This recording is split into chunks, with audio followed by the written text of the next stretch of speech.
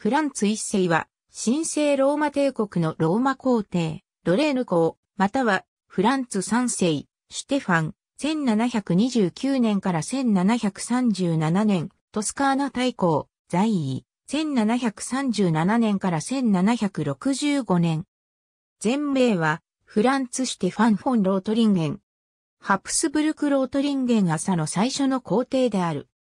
マリア・テレジアの夫であり、この婚姻により、帝位を継承するが、自身が領していたロレーヌ公国はフランスへ譲らなければならなかった。二人の間には、ヨーゼフ2世、レオポルト2世、マリー・アントワネットなど16人の子が生まれた。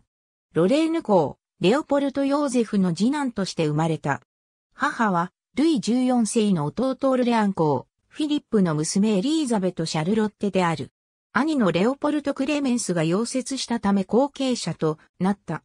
父方の曽祖父に皇帝フェルディナント3世がいて、マリア・テレジアとは、またいとこ妹の関係であった。陽気で親しみやすい性格で、マリア・テレジアの父カール6世からも大変に気に入られていたという。1723年8月初めにマリア・テレジアとの婚約が決まり、オーストリアへ赴いた。フランツは自然科学には大変な興味を持ち、後には独学で相当なレベルにまで達したが、興味のない読解、作文、ラテン語といった科目は、あまり積極的に勉強しようとはしなかったという。1729年、父の死により、ロレーヌ行為を継いだ。1731年11月18日、王立教会フェローに選出された。1736年2月12日にフランツとマリア・テレジアは結婚した。当時の王室としては異例の恋愛結婚で、フランツは名門ハプスブルク家と結びつくことになった。しかしそのために周辺諸国からは反発され、故国のロレーヌ公国をフランスへ譲った。ロレーヌはフランス王ルイ15世の王妃の父である前、ポーランド王スタニスワフ・レシチニスキが一代限りの君主として余生を過ごした後、フランス王国に併合される。一方、フランツはメディチ家が断絶して空位となったトスカーナ大公国を継承した。フランツは父方と母方の双方からメディチ家の大公フランチェスコ一世の血を引いていた。フランツはロレーヌの譲渡に関する合意書に署名する際、怒りと絶望のあまり三度もペンを投げ捨て、震える手でようやく署名したという。また、母、エリザベート・シャルロットからは、その譲渡を激しく非難された。その後もフランツは、生涯に何度も屈辱を味わわされることとなった。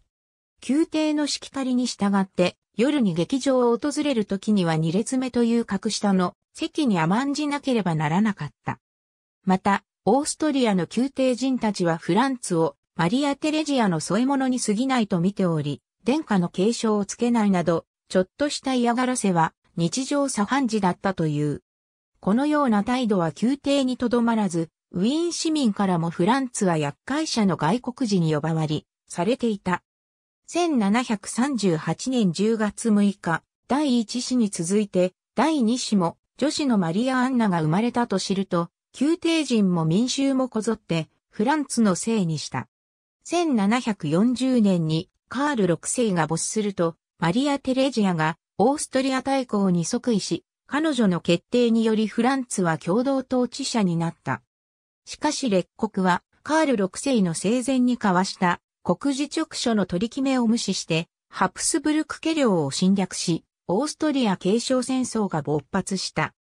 プロイセン王フリードリヒ2世は、シュレージエンを占領し、マリア・テレジアの重視、マリア・アマーリエを比とする、バイエルン選定公は、ボヘミアを占領した上に、フランツを差し置いて、皇帝カール7世として退官した。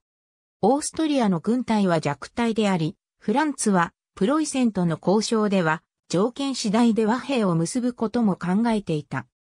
しかし、オーストリア宮廷で主導権を握るのは、マリア・テレジアであり、シュレージエンを占領されたことに激怒していた彼女は、プロイセンに対して一歩も情報する気はなく、断固戦う意志を固めていた。1741年1月1日の最後の会談の際、フランツとプロイセン側の使者ゴッター博グスタフ・アドルフは極秘に交渉を続けたが、マリア・テレジアはドアの裏やカーテンの影で耳をそば立て、少しでもフランツが譲歩しそうな気配を見せると、子犬でも呼びつけるように夫へ合図を送った。この交渉は結局マリア・テレジアによって強引に打ち切られ、戦争は再開されたが、同年4月10日にオーストリア軍はプロイセン軍に敗北した。これを機に、フランツは国政には関与しないようになり、一切の実権をマリア・テレジアが握ることとなった。1741年6月25日、マリア・テレジアはプレスブルクでハンガリー女王として戴冠式を挙行した。フランツはここでも屈辱を味わわされた。ハンガリー貴族たちは共同国王でも王妃でもないフランツに詩人としての席しか用意できないと告げたのである。フランツは不快な思いを避けるため、戴冠式が行われる聖マルチン教会には入らず、教会の外壁にスタンドのようなものをこしらえると、3歳になる娘のマリア・アンナと上までよじ登り、教会の窓から様子を覗いたという。戴冠式の後の祝宴でも、フランツはいつものように末席につかされた。その後、フランツがハンガリー貴族との会議に出席したことは一度もなく、存在さえほとんど忘れ去られていたという。1744年9月、フランスとの戦争に参加して軍港を建てようと試みたが、直ちにマリア・テレジアに呼び戻されている。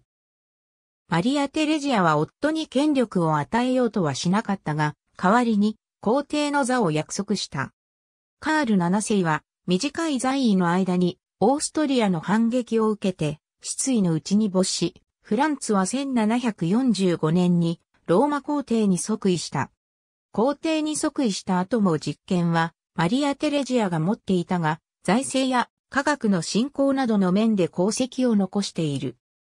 フランツには財政家もしくは経営者としての手腕があり、7年戦争で苦しくなったオーストリアが国債の発行に踏み切る際には、その保証人になれるほどの莫大な財産を残している。また、シェーンブルン宮殿の一角に植物園や動物園を作り、昆虫や鉱石を分類したコレクションを残した。これらのコレクションは現在ウィーン自然史博物館に所蔵されている。フランツは常に子供たちの幸せを考える良き父親でもあった。中でも体が不自由で容姿が醜く、嫁にやれないため、マリア・テレジアやテーマイたちから嫌われていた次女のマリア・アンナのことを特に気にかけていたという。しかし、フランツとマリア・テレジアの死後、マリア・アンナを母親以上に憎悪していた弟ヨーゼフ2世の暗躍により、マリア・アンナは宮廷から完全に追放され、クラーゲンフルト修道院に入れられてしまうことになった。1765年8月18日、フランツは三男、レオポルトの結婚祝いのために赴いたインスブルックで、ゴルドーニの喜劇とバレエを鑑賞して帰還した後の夕方、突如没した。フランツの死後、大勢の人々が、その寛大で温かな人柄を惜しみ、褒めたたえて、敬意を表した。マリア・テレジアは、夫の死を深く悲しみ、シェーンブルン宮殿の一角に夫を忍ぶ、真っ黒な漆塗りの部屋を設けたほか、夫が没したチーンスブルックに設置された凱旋門には、フランツの死を悼むレリーフを据え付けさせた。また彼女は、夫の死後、自身が没するまでも服しか着用しなくなったという。フランツの死後、皇帝院は、長男ヨーゼフ2世が継いだ。フランツ自身の領地のうち、トスカーナ大公国は三男レオポルトが継いだ。フランツは、また、失ったロレーヌの他にシュレージ園の一角にあったチェシン公国を父レオポルトから受け継いでいたが、これはマリア・テレジアがひいきにしていた四女マリア・クリスティーナとその婿、アルベルト・カジミールに受け継がれることになった。妻、マリア・テレジアとの間に5男11女の計16人の子女を設けた。ありがとうございます。